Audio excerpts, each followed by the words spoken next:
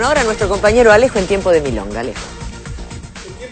Porque hoy será la gala de presentación en Bartolomé Mitre 575, hoy por la tarde de la ceremonia de apertura de esta nueva edición del Festival de Tango de Buenos Aires, que hasta el 31 de agosto va a ser de Buenos Aires, precisamente el polo tanguero del mundo. Habrá más de 150 shows, actividades gratuitas, conciertos, espectáculos de danza, milongas populares, clases de baile de distintos niveles a cargo de la Escuela de Mora Godoy y mucho más en esto que es la expresión popular, si se quiere, y que nos identifica más características de Buenos Aires. Recién estabas escuchando a Rodolfo Mederos o al bandoneón de Rodolfo Mederos. Esto es porque a partir de mañana, cuando comiencen todas las actividades tangueras ya desde el mediodía, la actividad destacada se va a desarrollar en el Teatro 25 de Mayo, esto es en la, localidad de Villa Urquiza, donde se va a estar presentando precisamente Rodolfo Mederos que va a estar acompañado en la voz por Susana Rinaldi. Así que gran cantidad de actividades, no te lo podés perder hasta el 31 de agosto,